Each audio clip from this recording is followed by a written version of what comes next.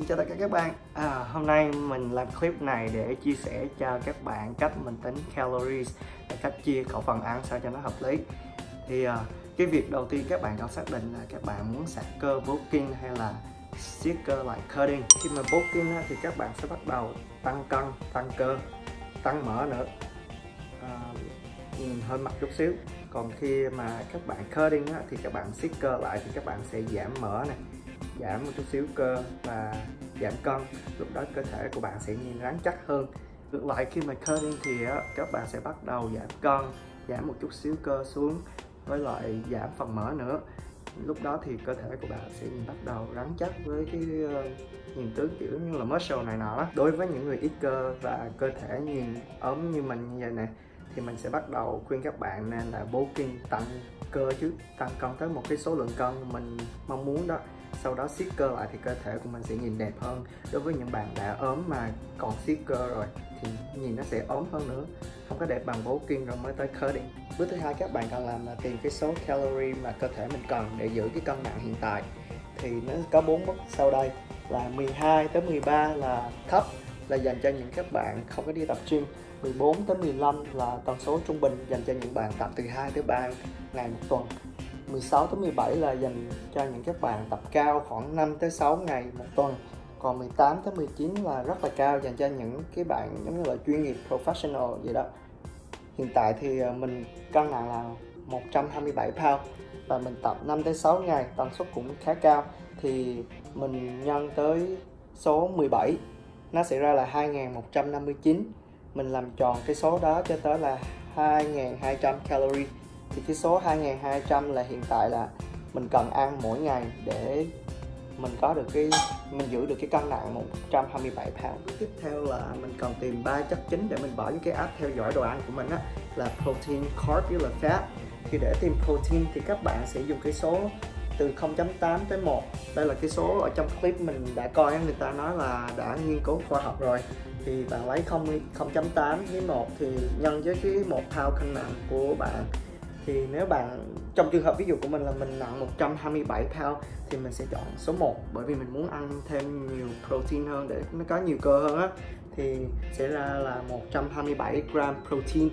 Rồi à, để mình xem thử cái số 127 gram protein đây là nó có bao nhiêu calorie trong đó thì bạn nhân với 4 bởi vì một một gram protein sẽ bằng 4 calorie thì 127 nhân với 4 là sẽ bằng 508 calories. Và các bạn nhớ ghi cái số này xuống nha. Rồi tiếp theo mình sẽ tìm chất béo fat. Thì ờ, chất béo sẽ chiếm từ 20 cho tới 30 phần trăm của tổng lượng calories mà mình còn tiếp thụ hàng ngày. Thì uh, từ số 20 tới 30 thì mình sẽ chọn 30 bởi vì mình thích ăn nhiều chất béo hơn. Chất béo ở đây là chất béo tốt đến từ các hạt như hạt đậu hạt hành nhân hoặc là trái bơ đó. Thì uh, mình sẽ lấy 30% cái nghĩa là 0.3 nhân cho tới cái số tổng lượng calorie mà mình còn tiêu thụ hàng ngày là 2350 hồi nãy mình mới tính ra đó là sẽ bằng 705 calories. Rồi mình lấy số 705 calories đó mình chia cho 9 thì sẽ khoảng bằng 78 gram chất béo mình cần tiêu thụ hàng ngày. Rồi các bạn nhớ ghi xuống nữa nha. Cái chất cuối cùng mình cần tìm là carb tinh bột.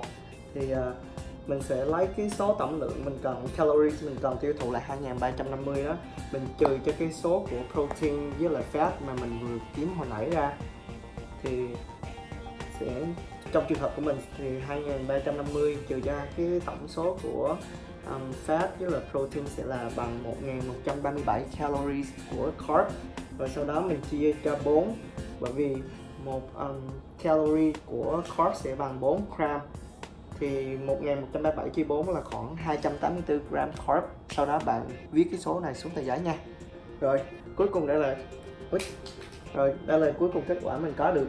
Thì để tăng cái đúng cái theo cái lượng cân mà mình mong muốn thì là khoảng 2350 calories. Thì mình sẽ cần khoảng 127 gram protein này 284 gram carb và 78 gram fat. Thì sau khi bạn có được ba cái số này bạn sẽ mở cái app um, MyFitnessPal á, nó có rất là nhiều app để theo dõi chế độ dinh dưỡng của bạn trên uh, phone. Nhưng mà mình thấy cái MyFitnessPal ờ, uh, á thì cái đó thì mình thấy rất là nhiều người sử dụng với là nó có nhiều thông tin đồ ăn ở trong đó nữa. Thì bạn chỉ cần nhập vô cái số calorie bạn muốn tăng cân số protein số carb và số fat và cái app đó. Và sau đó bạn cứ theo dõi đó mà ăn hàng ngày hàng ngày thì bạn sẽ đạt được cái số calorie như vậy để tăng cân thôi chúc các bạn may mắn nha.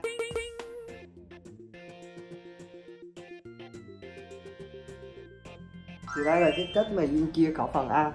Thì uh, một ngày duyên cố gắng chia các phần ăn ra khoảng từ 4 tới 5 bữa. Nhưng mà duyên chia 4 bữa thôi duyên cũng làm biến ăn lắm.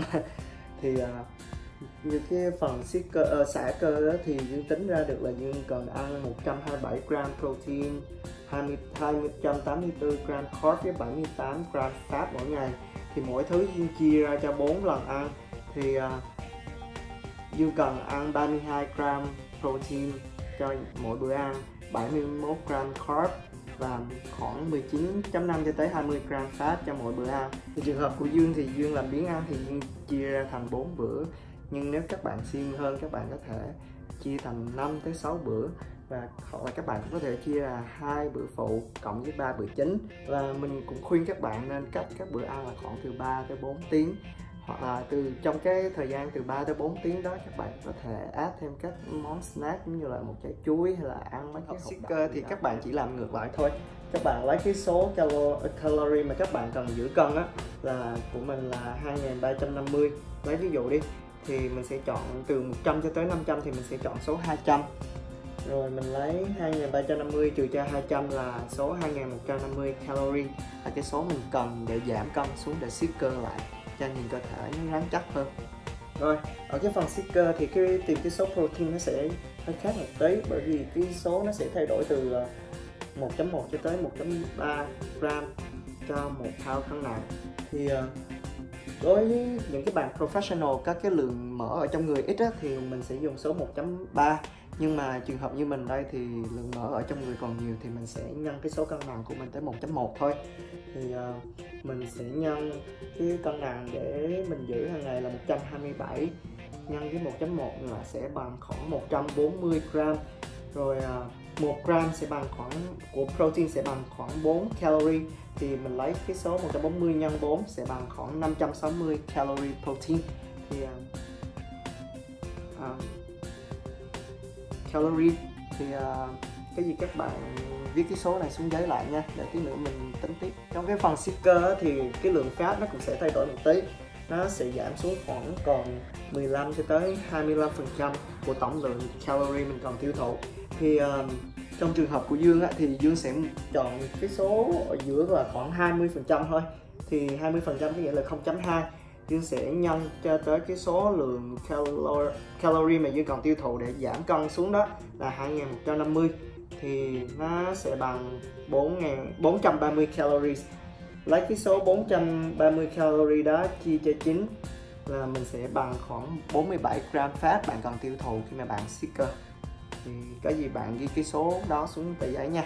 Phần còn lại là phần carb thì rất là đơn giản à, nó chỉ là cái số lượng calorie, calorie còn lại thôi. Bạn lấy số 2150 số tổng lượng calorie của bạn trừ cho cái số lượng calorie của protein với fat hồi nãy bạn mới tính ra đó thì trong trường hợp mình sẽ là bằng 1160 calorie. Thì bạn lấy cái số calorie đó bạn chia cho 4 thì nó sẽ ra là 290 gram cân nặng của phần carb bạn còn tiêu thụ hàng ngày. Tương tự như phần uh, xả cơ. Thì kết quả để mà siết cơ thì mình sẽ cần giảm xuống 2150 calorie từ 2350 calorie. Rồi uh, phần protein thì mình sẽ cần 140 gram pro protein hàng ngày. Phần carb thì mình cần 290 gram carb và 47 gram fat mình cần tiếp thụ hàng ngày để mà giảm xuống 2150 calorie. Rồi bạn chỉ cần lấy bốn cái số này bạn bỏ vô cái app My Fitness Pal đó, rồi bạn theo dõi hàng ngày thôi. Thì bạn sẽ có một cái kết quả thành công. Cuối của video rồi. Mình cảm ơn các bạn đã theo dõi hết cái video của mình. Và mình muốn nói là cái video này là cái video đầu tiên mà mình làm. Cho nên nếu mà mình làm cái gì sai sót thì các bạn bỏ qua. Hoặc là các bạn cần góp ý kiến thì hãy comment phần bên dưới cho mình nha với lại mình cũng muốn nói thêm là mình không phải là professional gì hết nhưng mà mình kiếm được những cái video hướng dẫn online hay và mình tập mình thấy có thành công thì mình muốn chia sẻ tới các bạn và hy vọng nó cũng thành công tới tất cả các bạn. Nếu các bạn thấy cái video này hay á, thì các bạn hãy subscribe kênh youtube của mình với lại nếu được thì theo dõi kênh facebook của mình nha. Cái gì follow. Cảm ơn các bạn nhiều.